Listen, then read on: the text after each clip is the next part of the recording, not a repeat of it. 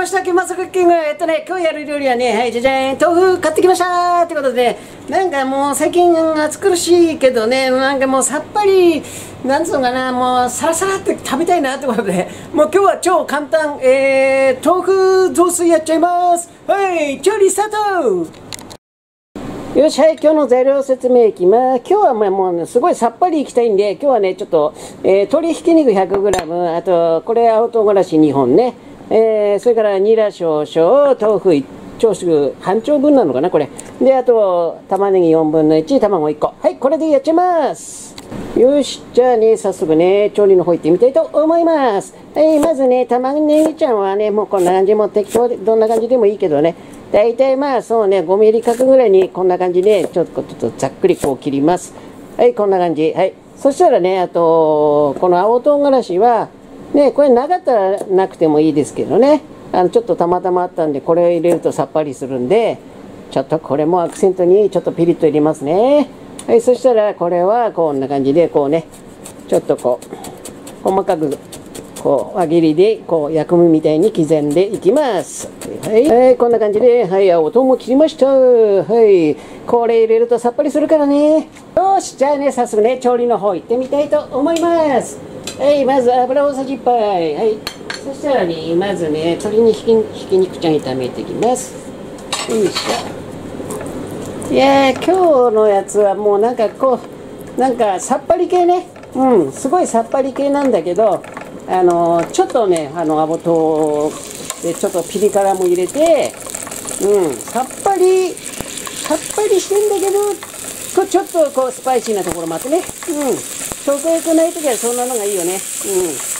で、なんか、そうめんとかばっか食べて、ね、冷たいのに飽きちゃったら、たまにはこうね、あったかくて、サラサラっとしたのもいいんじゃないかなと思いますね。はい、こんな感じで、はいはい。ひき肉を炒めながら、はい。そしたらね、もう先にね、この玉ねぎと唐辛子も入れちゃいます。よいしょ。はい。はい、ここでね、たね、あのー、ひき肉に火入れながら玉ねぎの甘みね、唐辛子の辛みを引き出していきます。よし、はい、そこで今日はね、ちょっと、えっ、ー、と、途中のね、輪切りの唐辛子の方も一つまみここでちょっと入れて、で、これね、もう辛みが苦手な人は青唐も、ね、赤唐も入れなくていいですよ。ただね、このね、両方入れるとね、この辛さのこの比率が違うんで、すごくね、あのー、なんか奥行きのある辛さになるんですよね。だから、まあ、青唐と赤唐を一緒に入れるっていうの僕結構好きですね。で、こう、色目もね、やっぱり赤と青入ることによって、あの、なんか食欲も湧きますよね。なんか料理ってやっぱり色目も大事なんでね、そこら辺もやっぱ計算に入れて料理やるといいですよ。はい、こんな感じでさーってね。はいはい。今日はもうめちゃめちゃ単純ですからね。はいはい、こんな感じで、はいはい。ひき肉にある程度火が通って玉ねぎもちょっと半透明になって甘みが引き出されました。はいそうしましたらはいここにお水 400cc はいピョーン入れて。よしはいそしたらねはいお豆腐ね。お豆腐をこんな感じでよいしょと。はいさいの目にこうやって切ってあげます。よいしょ。これも直接入れちゃっていいよ。よいしょ。ほいよいしょ。よしはいこの段階ではい味付けいっちゃいます。はいはい。今日もね、毎度おなじみ、ソーミシャンタン。はい、これね、小さじ。よいしょ。はい、小さじ2杯分ぐらいかな。とりあえずちょっと入れて様子見ますね。よし。えこんな感じで、ソーミシャンタンが溶けたところで、一旦味見します。はい。はい、いい感じ。ああいい感じに効いてるね。辛さもビシッときてますね。これいい感じだね。よし。うん。そしたらねちょっとねうんとね味のアクセントで単調になってるからほんの少し醤油ね。醤油大体小さじ1杯分ぐらいかな。これでちょっとね醤油の香りを入れてちょっとコクも出していきますね。よし。はいこんな感じでどうかな。はいそしたらちょっともう一回味見して。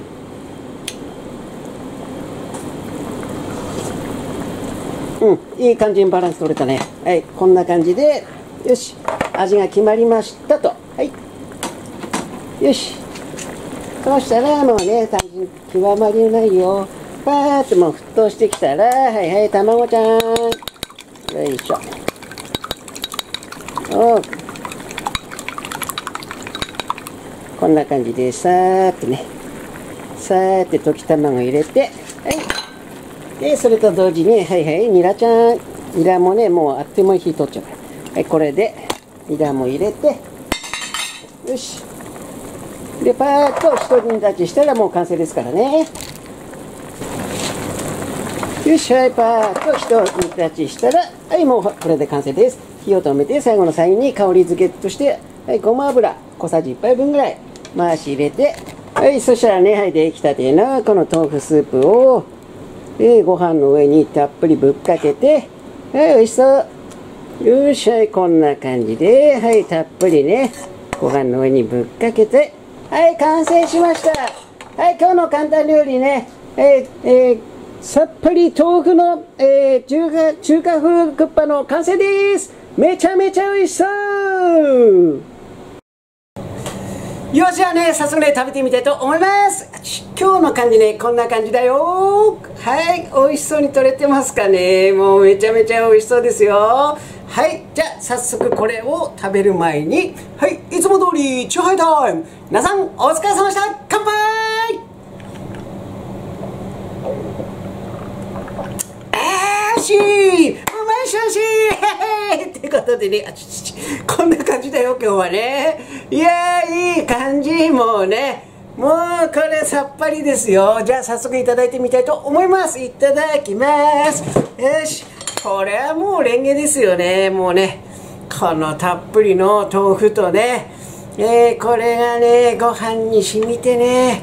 めちゃめちゃ美味しいんですよ。いただきます。いただきます。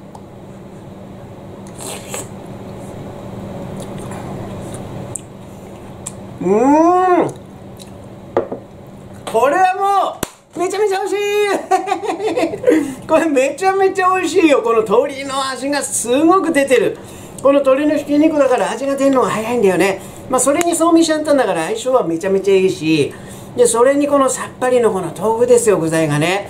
具材ともうその豆腐とうんとあれなんで結構さっぱりめなんですけどさらにねあの唐辛子が効いてます。でこれがビシッとこう効いてて爽やかな辛さなんですよね。うん。豆腐がまたいい。さっぱりしてる。もうねこれだったら暑い時にもガンガンいける。うん。この味わいはいいよね。あの油っぽくないもんだってこの鶏のひき肉だからそんなにギトギトしてないじゃないですか。それに豆腐ですよ。でそれにちょっとちょっとしたアクセントで玉ねぎが入っててニラとね。で青青唐と赤唐がの辛さが効いてね。うん。これはいい。これだったらもう食欲なくてもスルスルっていけますからね。最高ですよ。うん。いやあのビリッと食いてくる。うん。爽やかな辛さがね。うん。でさらにね、まあ、味変っつったら、まあ、例えば胡椒入れてなかったよね。で胡椒も絶対合う合いますからこの味には。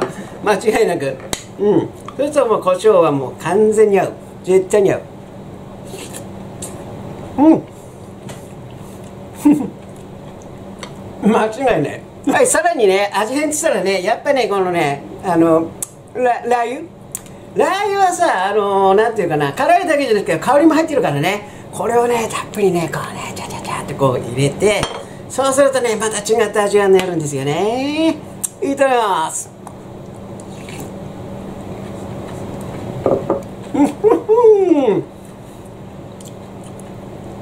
ラー油いいな。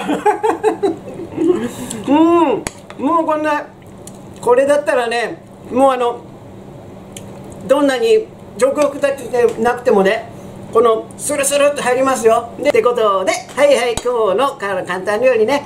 えー、豆腐入り、えー、簡単中華雑炊。はい。大成功です。皆さん簡単なんでやってみてください。今日もご視聴ありがとうございました。